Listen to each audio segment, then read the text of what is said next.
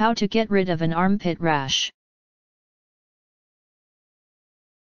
Cold compresses.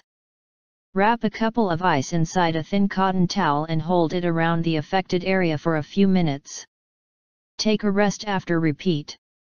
Do this for 10 minutes, a couple of times daily. You may also wash the area with cold water a couple of times each day. Make certain to pat dry the area completely after doing this. Coconut oil. Dab additional virgin coconut oil in your armpits and let it absorb completely into the skin. Do this a couple of times daily before the rash is finished. Alternatively, make a solution with 4 teaspoons extra virgin coconut oil and 1 teaspoon of chamomile oil. Dip a cotton pad within this solution and put it on around the affected area. Let it take 10 to 15 minutes, then rinse with cool water and pat dry having a clean towel. Repeat two times daily for few days. Aloe vera. Stop a thick aloe vera leaf and slit it open.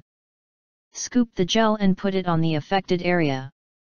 Let it take 20 to 30 minutes, then rinse with cool water.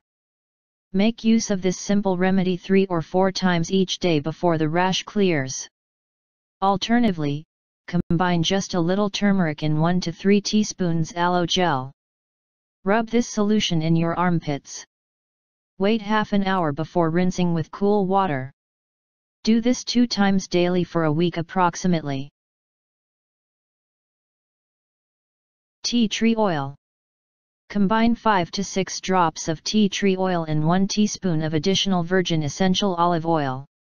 Clean the infected area with water and pat dry, then apply this combine onto it.